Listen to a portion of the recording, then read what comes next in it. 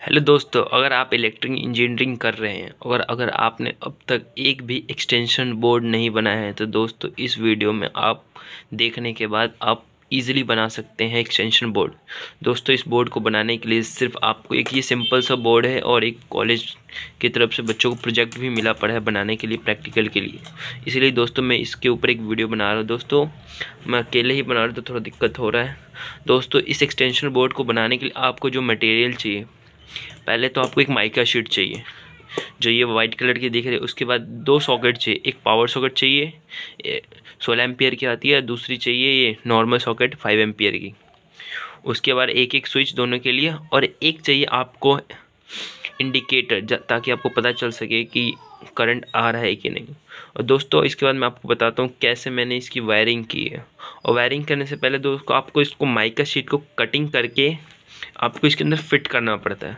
और दोस्तों, उसके लिए कई सारे वीडियो यूट्यूब पे पड़े उस, वो आप देख सकते हैं मैंने कैसे इसको फिटिंग किया है। दोस्तों, मैं इस वीडियो में आपको बताऊँगा कैसे आपको वायरिंग करना है। जो मेन वायर होता है न्यूट्रल वायर और अर्थिंग वायर कैसे हम वायरिंग करें। तो दोस्तों, मैं इस वीडियो में आपको बताने जा रहा हूँ। तो दोस्तों तो दोस्तों, मैं इसको आपको पीछे का हिस्सा दिखाता हूँ, जैसे मैंने इसको वायरिंग कर रखी है। तो दोस्तों, ये देखिए, मैंने यहाँ पे ये आपको पावर सॉकेट है, ये नॉर्मल इसका स्विच है। ये नॉर्मल सॉकेट सॉकेट है और ये इसका स्विच है। मैंने कैसे वायरिंग कर रखी है और यहाँ पे इंडिकेटर लगा रखा है। दोस्तों, आप यहाँ पे देख रहे हैं कि मैंने यहाँ पे दो कलर के वायर लगा रखे एक एक रेड कलर का, दूसरा ब्लू कलर का। दोस्तों रेड कलर जो लाइव वायर फेस वायर के लिए कंपलसरी है।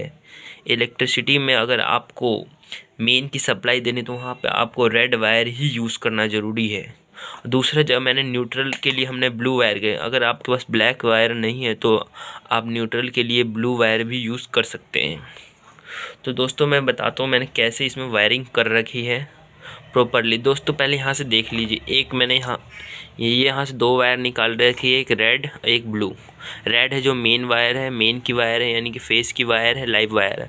और जो ब्लू कलर का वो न्यूट्रल का वायर है। दोस्तों, ये देखिए। पहले यहाँ का जो मैंने जो लाइव वायर जो मेन जो फेस का जो वायर उसको पहले मैंने जो कि इंडिकेटर है ये देख ले इंडिकेटर तो इंडिकेटर के नीचे वाले हिस्से से मैंने इसको कनेक्ट किया है फे, फेस दिया है इंडिकेटर के नीचे वाले हिस्से से ठीक है? उसके बाद जस्ट मैंने इसी मेन सप्लाई को यहाँ से सॉकेट सॉरी स्विच स्विच के मेन से कनेक्ट किया है। ये स्विच जो नीचे वाला उस हिस्से से कनेक्ट कनेक्ट कर रखा है मैंने। ये जो कि फेस की बार उसके जस्ट बाद मैंने इसी मेन को मैंने दूसरे स्विच के स्विच के नीचे वाले से कनेक्ट कर। ये दोस्तों हमें आपको मालूम होना चाहिए कि अगर आप किसी भी सॉकेट को या फिर किसी मटेरियल चला अच्छा किसी भी इलेक्ट्रिकल इंस्ट्रूमेंट को आप चलाना चाहते हैं, चाहे फ़ैन तो आपको एक मेन और एक न्यूट्रल की वायर आपको देनी पड़ेगी तो सबसे पहले हम फेस की कनेक्शन कर रहे हैं।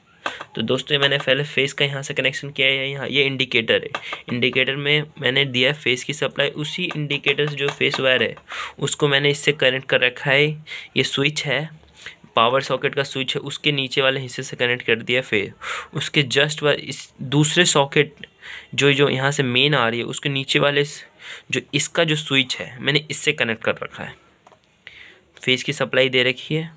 उसके दोस्तों, अगर यहाँ तक आपने कर लिया, उसके बाद आपको, आप चाहते हैं कि ये सॉकेट है जो इस स्विच से ऑपरेट हो, चले, और जो दूसरा सॉकेट है, इस स्विच से चले। बेसिकली हम दोनों इसी ये जो दो सॉकेट लगा है, इन दोनों के लिए लगा रखा है इंडिविजुअल। पावर सॉकेट के लिए पावर स्विच लगा रखा है और नॉर्मल के नॉर्मल वाला लगा रखा है, ठीक है? दोस्तों तो हम चाहते हैं कि ये जो सॉकेट है ये इस स्विच से ऑपरेट हो। तो दोस्तों सॉकेट चलाने के लिए हमें सबसे पहले एक मेन की सप्लाई देनी पड़ेगी। तो जो ऊपर वाले हिस्सा है, जो हमने पहले फेस का लाया था उसी से हम, उसके ऊपर वाले हिस्से जो स्विच है उससे हम मेन की सप्लाई दे देंगे। दोस्तों, और यहाँ पे दोस्तों, यहाँ पे आपको गौर से देखिए तो यहाँ पे यहाँ पे एल लिखा लिखा हुआ है एल है जो वो फेस वायर लाइव वायर के लिए ही है। तो इससे आपको इजीली पता चल जाएगा यहाँ पे हमें क्या देना है? रेड वायर की सप्लाई और फेस की सप्लाई देनी है। उसके यहाँ होने के बाद सेम नीचे मैंने भी ऐसे ही किया है। इसमें भी आपको यहाँ पे गौर से आप जब देखेंगे, यहाँ पे एल देखेंगे, यहाँ पे मतलब फेस की सप्लाई देनी है। तो जो सॉकेट जो मेरा स्विच है, उसके स्विच के ऊपर वाले हिस्से से मैंने यहाँ पे क्या सप्लाई दे रखी है? फेस वायर की सप्लाई दे रखी है लाइव वायर की। उसके बाद यहाँ देने के बाद आपने अब आप यहाँ से, आपको मालूम होगा हमें दो वायर किस लिए चाहिए होता है। फेस होती है करंट आने के लिए और जो न्यूट्रल करंट को जाने के लिए, यानी कि इलेक्ट्रॉन्स आए इलेक्ट्रॉन जाने के लिए। दोस्तों, हमने फेस वायर की सप्लाई दे दी है। उसी के बाद अब सॉकेट को चलाने के लिए एक न्यूट्रल वायर हमने कनेक्ट किया है। तो ये जो न्यूट्रल वायर हमने पहले लाया जो यहाँ से, जो इंडिकेटर हमने स्टार्टिंग में लगाया था, लगाया है, उस, उसमें सबसे पहले हमने न्यूट्रल का सप्लाई दिया है और इसी वायर को हमने बाहर निकाल रखा है।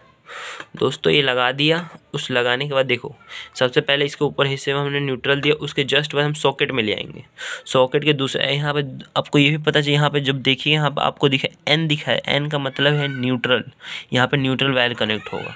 तो न्यूट्रल के जस्ट इसके बाद मैंने नीचे वाला हिस्से से न्यूट्रल दे रखा है। ओके दोस्तों। और दोस्तों, हमें किसी भी एक्सटेंशन बोर्ड को चलाने के लिए मिनिमम दो बोर्ड दो वायर की आवश्यकता है। अगर, और तीसरा वायर भी आप यहाँ पे कनेक्ट कर सकते हैं, अगर आपको टीचर बोल रहे हैं, जो कि अर्थिंग का वायर हो, वो अर्थिंग का वायर होगा यहाँ से।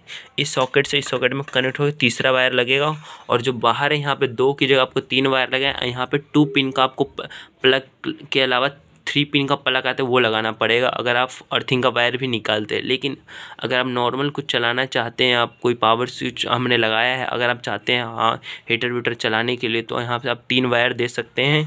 यहाँ से एक, आप ग्रीन कलर का वायर यूज़ कीजिएगा, यहाँ से कनेक्ट करके एक वायर निकाल दीजिएगा, और आगे तीन पिन का आपको प्लग लगा के लगाना होगा। लेकिन हमने दो, दोस्तों, दो ही वायर का यूज़ किया है। दोस्तों, आइए हमने जो बोर्ड बनाया है, ये चल रहा है कि नहीं चल रहा है, कैसे, इसमें आपको हम बताएँगे। दोस्तों, ये हमारा पूरा तैयार है। मैं आपको इसको चेक करके दिखाता हूँ।